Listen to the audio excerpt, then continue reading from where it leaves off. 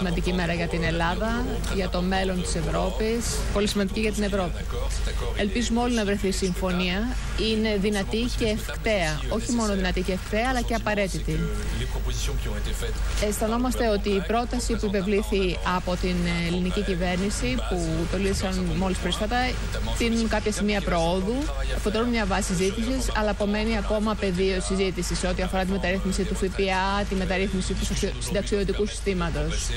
Δεν μπορούμε, να, μπορούμε σήμερα να σημειώσουμε κάποια σημεία πρόοδου, να έχουμε μια διαδικασία που θα επιτρέψει να οριστικοποιηθεί η συμφωνία. Οι πάντες περιμένουν η συμφωνία, να, πρέπει να συμφωνήσουν όλοι οι θεσμοί.